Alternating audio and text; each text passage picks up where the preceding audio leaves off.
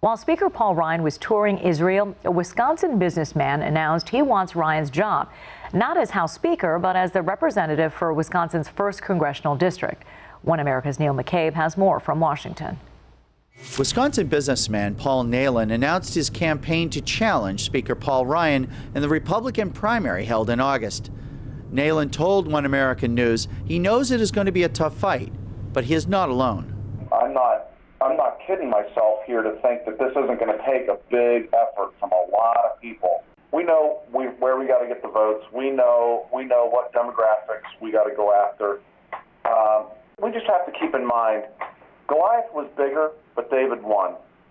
Nehlen said he supported Paul Ryan in the past, but he feels betrayed by Ryan's support for the president's Trans Pacific Partnership trade deal. The businessman said he was also put off by how Ryan campaigned in the district against the Export Import Bank, which gives corporations tax supported low interest loans, but after Capitol Hill conservatives closed the bank, the Speaker revived it. Nehlen said Ryan votes against the district and his own promises. So you step and you ask yourself, why is Paul Ryan voting the way he is? Why is why is Paul Ryan voting against this district? 83% of Paul Ryan's campaign cash came from outside this district. And of that 83%, 65% of it came from Washington, D.C. and Alexandria, Virginia. Conservatives have searched for months for a challenger to Speaker Paul Ryan.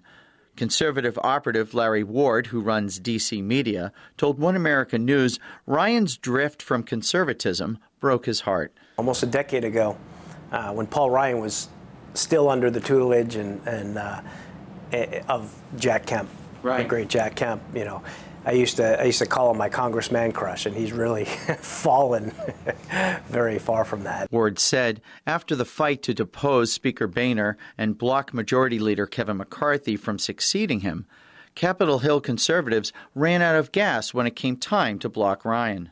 It was exhaustion because we had fought a hard battle to beat somebody who would have been disastrous as Speaker of the House, and they put somebody who we couldn't defeat right after that, and we were exhausted. We were punched out.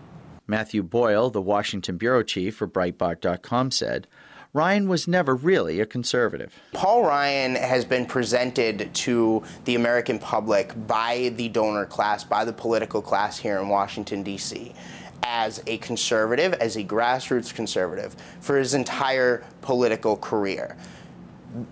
In reality, he is a creation of the donor class. They basically built him in a, uh, in a petri dish. Boyle said primaries are the first step, but if primary opponents against Speaker Ryan and other GOP leaders fail, there is one other option. In many cases, it would potentially make more sense for conservatives getting behind Democrats to take out establishment Republicans. Neil W. McCabe, One American News, Washington.